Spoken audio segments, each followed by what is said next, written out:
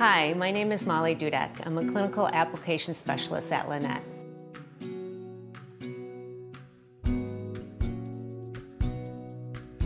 I have been a licensed physical therapist assistant for the past 23 years and recently received my certificate as an ergonomics assessment specialist.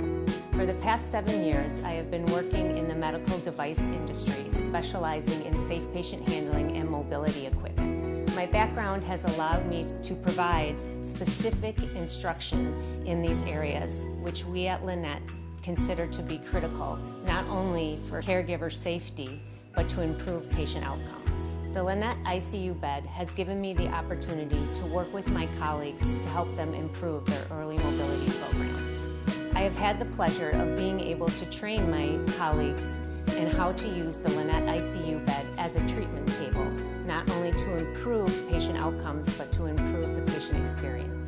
Nothing makes me smile more than walking into an ICU with our beds and seeing all the footboards have been turned this lets me know that they are using the footboard for weight bearing, which I know is benefiting their patients.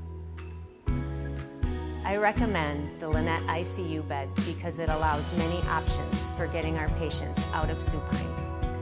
The frame-based lateral turn, alternating lateral therapy, the weight-bearing footboard, and the Mobi lift are some of these options. As a therapist, one of the most difficult things about treating patients in the ICU is using the bed as a treatment table. The Linet ICU bed gives us many more options. I would like to invite you to watch our video and see how the Linet ICU bed can help you improve your early mobility program. After seeing the way we can help you, I am sure you will want to request a demo. To do this, please contact your local sales executive or Linet directly.